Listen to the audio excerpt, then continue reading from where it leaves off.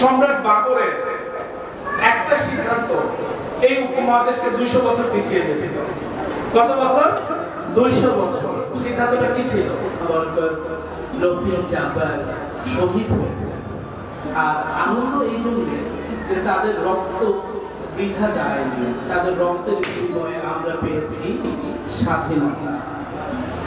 Racecourse ময়দানে উনিশশো বাউন্ন সালে প্রথম যখন মোহাম্মদ আলী জিন্না বক্তব্য দিয়েছিলেন রাষ্ট্রভাষার প্রসঙ্গে যে Urdu and Urdu shall state language of the Pakistan তখন রেসকোর্স ময়দান নৌন শব্দে মুখরিত হয়েছিল, প্রমাণ করেছিল যে বাংলার দামাল ছেলেরা হাসি মুখে ভাষার জন্য রক্ত দিতে পেরেছে।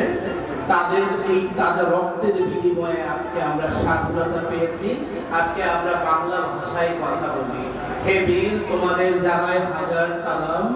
প্রজন্মের পর প্রজন্মের হৃদয়ে বেঁচে থাকবে তোমরা।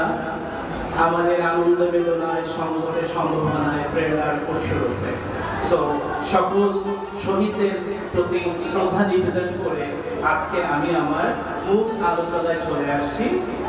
Yesterday is history, tomorrow is mystery, but today is gift by Allah subhanahu wa ta'ala.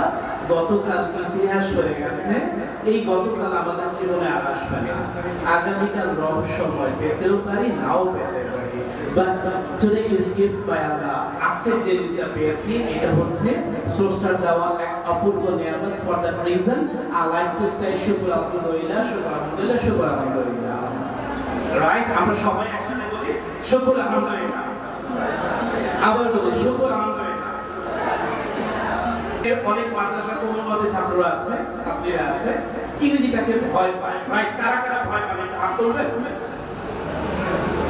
কারা কারা একটু হাত তোলেন রেজ ইউর হ্যান্ড প্লিজ একটা হচ্ছে পজিটিভ আর হচ্ছে নেগেটিভ হচ্ছে না বলো এই তিনটা জিনিস যদি বুঝতে পারেন, ইংরেজি সেভেন পার্সেন্টের মধ্যে ফিফটি পার্সেন্ট এখানে হয়ে গেল। বলুন, এত সেটা? হ্যাঁ এত সেটা। পৃথিবীতে বাইশশো ভাষা আছে। বাইশশো ভাষার মধ্যে everything depends on this things positive negative interrogative এই তিনটা জিনিস যদি বুঝতে পারি, ইংরেজি সেভেন পার্সেন্টের মধ্যে ফিফটি পার্সেন্ট এখানে হয়ে গেল। বাকি থাকে কত পার্সেন্ট ফিফটি পার্সেন্ট ফিফটি পার্সেন্টের মধ্যে থার্টি পার্সেন্ট হচ্ছে স্ট্রাকচার টেন পার্সেন্ট হচ্ছে ভোকাবুলারি স্ট্রাকচারটা আমরা ক্লাসে দেখব। দিব। প্রতি মাসে আমি একদিন এসে স্ট্রাকচারগুলো সিরিয়াল বাই সিরিয়ালে আপনাদেরকে দিয়ে দিব, ইনশাআল্লাহ। আর টেন পার্সেন্ট হচ্ছে ভোকাবুলারি বলবেন যে, স্যার, কত হাজার ভোকাবুলারি আমার শিখতে হবে? একটা এইট পার্সেন্টের মধ্যে কিংবা ফাইভ পার্সেন্টের মধ্যে মোর দেন আটশো থেকে বারোশো ওয়ার্ড এমনি স্টক করা থাকে। বলবেন কীভাবে? মাইক্রোফোন একটা ইংলিশ শব্দ ওয়াচ একটা ইংলিশ শব্দ রিং একটা ইংলিশ শব্দ শার্ট একটা ইংলিশ শব্দ জিন্স প্যান্ট একটা ইংলিশ শব্দ। যেমন একটা রিক্সাওয়ালা গায়ে যাবেন? ঢাকা বিশ্ববিদ্যালয়ে সে কনফিউজ হয়ে গেছে, ঢাকা বিশ্ববিদ্যালয় কোনটা? যদি বলেন, এই ঢাকা ইউনিভার্সিটি যাবার সে চিন্তা করে এই, আপনি কাগজ এই বাবা, কেদার একটা নিয়ে আসুন কেদার একটা। কনফিউজ হয়েছে হোয়াট ইজ কেদার? এই চেয়ারটা হতো তাহলে সেগুলো চেয়ারটা নিয়ে আসতেছে রাইট তাহলে এই মনের অজান্তেই এই ওয়ার্ডসগুলো ডোরমেন্ট অবস্থায় রয়ে গেছে। এই ডোরমেন্ট ওয়ার্ডস গুলাকে আমাদের কি করতে হবে? জাগ্রত করতে হবে। এই জাগ্রত করলে হয়ে গেল। আর টেন পার্সেন্ট হচ্ছে presentation What does mean by presentation? Says that the world is a stage and all of you are actual actors. পৃথিবীটা হচ্ছে একটা নাটক। আমরা এখানে সবাই অভিনেতা অভিনেত্রী তো যেহেতু আমরা অভিনয় করে যাচ্ছি, এই অভিনয়টা এমন ভাবে করতে হবে যে অভিনয়ের মধ্যে থাকে অর্থ প্লাস সম্মান দ্যাট ইজ কল প্রেজেন্টেশন আর হাসান হাসান এক প্যাটার্ন মধ্যে বোমা মারলো ইংলিশ বেরোবে Now you take the decision. In which group do you want to stay? আপনি কোন গ্রুপে থাকতে চান হাসান আর ma'am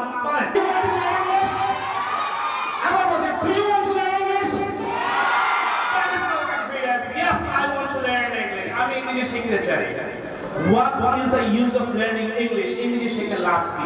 If you want to go any kind of a job, definitely you will have to express yourself in English. If you cannot speak in English, you will be better, otherwise you will be better. So I believe আমি বিশ্বাস করি আমি মারামাতি ইউনিভার্সিটিতে গিয়েছিলাম আমি একটা programme করেছে so what's the difference between public Madrasa English medium Madrasa and Bangla medium Madrasa. What's the difference between English medium school and Bangla medium school I say international school Dhaka beside the Apollo Hospital, they are taking the from per student.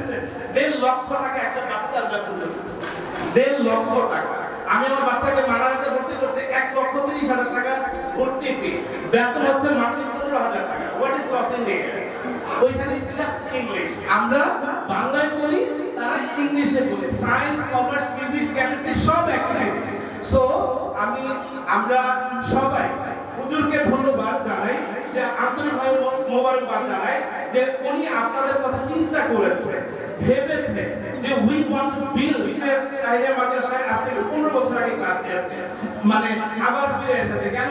তার সাথে একটা কথা আছে, মুদা মুঝে দেখতে চাহে তো মুঝে মাদ্রাসাকে দেখতে। আমাকে দেখতে চাও?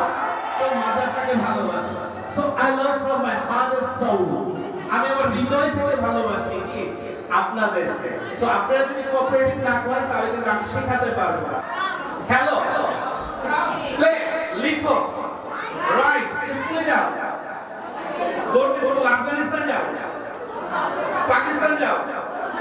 খুলনা যাও রাজশাহী যাও উত্তর খেলো প্লে উত্তর লুডো খেলো কে হবে বন্ধুর কাছে শেয়ার করবেন বান্ধবীদের কাছে শেয়ার করবেন yes we would like to English এবং আপনি মনে করলেন যে, স্যার, আপনি মাসে একদিন আসবেন, এটা তো কষ্টকর।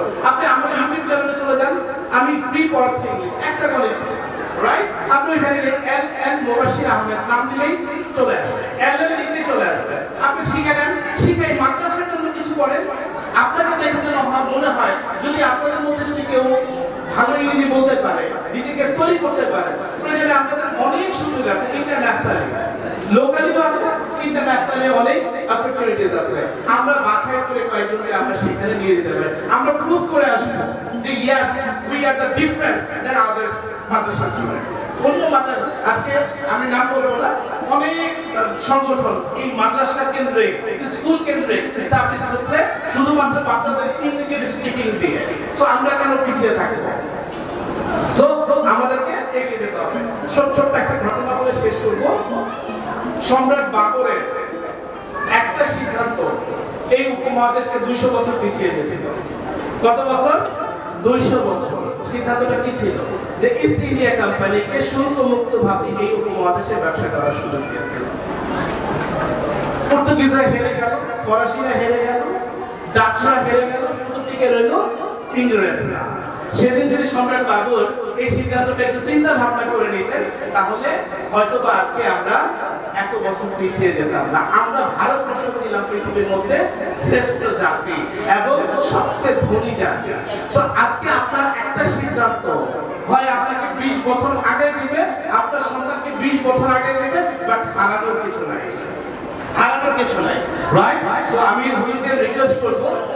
আমাদের অতিথি মহোদয় পুরস্কার ইংলিশ স্যার, পুরস্কার সবাই বলি, মার হাবা এবারে